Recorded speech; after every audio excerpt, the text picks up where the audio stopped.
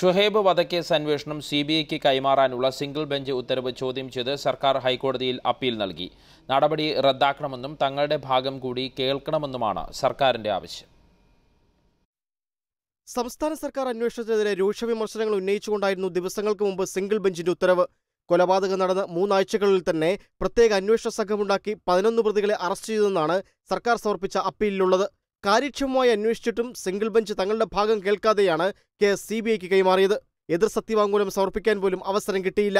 എഫ്ഐആറിന്റെ പകർപ്പും മാധ്യമ വാർത്തകളും മാത്രം അടിസ്ഥാനമാക്കിയാണ് സിംഗിൾ ബെഞ്ച് അന്വേഷണം കേന്ദ്ര ഏജൻസിക്ക് വിട്ടത്. കേസ് ഡയറികൾ പരിശോധിക്കാതെയായിരുന്നു നടപടികളെല്ലാം. ഇക്കാര്യത്തിൽ സിംഗിൾ ബെഞ്ചിന് പിഴവ് പറ്റി. അന്വേഷണ പുരോഗതി പോലും കൃത്യമായി ധരിപ്പിക്കാൻ അനുവദിക്കാതിരുന്നത് സ്വാഭാവിക നീതിയുടെ ലംഘനമാണ്. ഈ സാഹചര്യത്തിൽ തങ്ങളുടെ ഭാഗം കൂടി കേട്ട് തീരുമാനമെടുക്കണമെന്നാവശ്യപ്പെട്ടാണ് സർക്കാർ ഡിവിഷൻ ബെഞ്ചിനെ സമീപിച്ചിരിക്കുന്നത്. ಏಷ್ಯಾನೆಟ್ ನ್ಯೂಸ್ ಕೊಚ್ಚಿ